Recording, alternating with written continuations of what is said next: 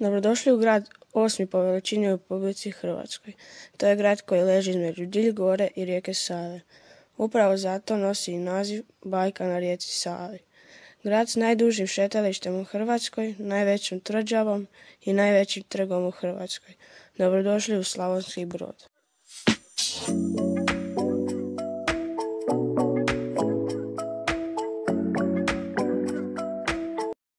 Kej i Savski most u Slavonskom brodu je većinu svog života, čak i od svoje 18. godina, živjela jedna od najpoznatijih hrvatskih spisateljica, Ivana Brlić-Mažuranić. Za sobom je u gradu ostala važna znamennica svoju kuću. Njezina kuća je u potpunosti obnovljena i otvorena kao muzej stalne postave, tek prošlog ljeta. Nalazi se na kožu kao i Ivanin kip. Što se gradske povijesti tiče, istagnula bih Savski most koji je imao veliku ulogu u domovinskom ratu. To je most koji spaja u miru, a rastavlja u ratu. Uz rijeku Savu u podnožju Kožda nalazi se kej. Ukrašen je cijelim svojim dužinom brojnim grafitima, tu se nalazi i kip potjeha iz bajke. Kako je potjeh tražio istinu, već spomenute spisateljice.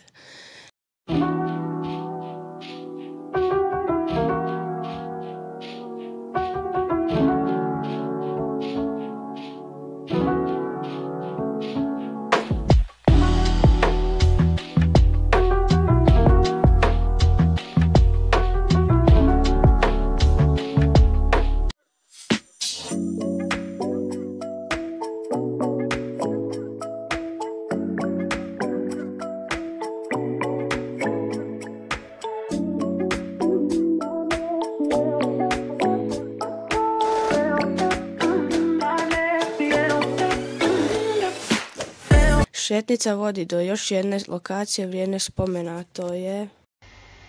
Tvrđava. U 18. stoljeću Austrija gradi veliku tvrđavu broda na Savi za doba Austro-Ugarske države. Radi u cilju obrane od Turaka baš na ovom području koje je tada bilo prometno i strateško mjesto.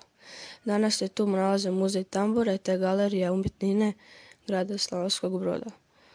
Mjesta koja bi izvojila za vjerski turizam su kapela Svete Ane i Franjevački samostan, u kojem je za vrijeme svog školovanja u Slavonsko-Brodskoj gimnaziji stanovao poznati pjesnik Dragutin Tadjanović, rotom iz Rastuša, sela pokraj Slavonskog broda.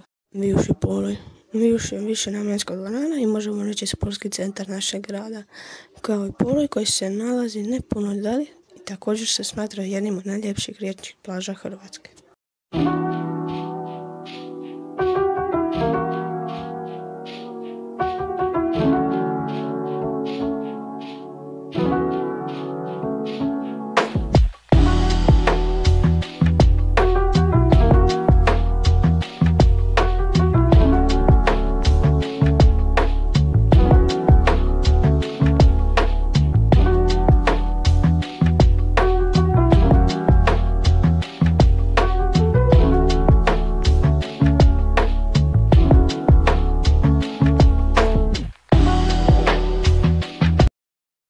Podvožnjak. U Osječkoj ulici svake godine novim grafitima oslika kreativna udruga mladih.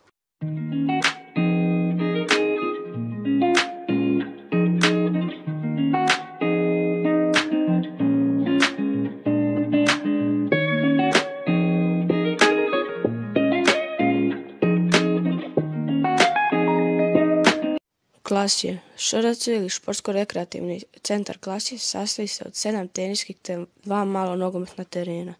Ti tereni su namijenjeni najviše za amatersko, ali i za profesionalno bavanje sportom, pogotovo tenisom. Na teniskim terenima se nekad održavaju turniri i natjecanja. Kada nema turnira, terenima se koriste rekreativci i amateri.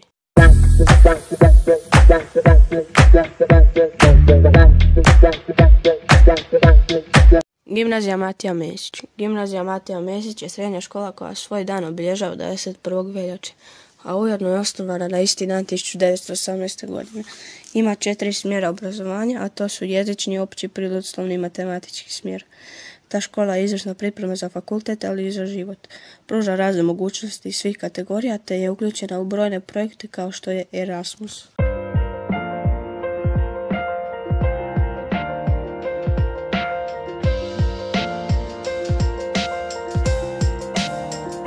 Gradu možemo još puno toga reći, no dođite i uvjerite se sami da je uistinu bajka. I saznate nešto novo što smo možda zaboravili spomenuti.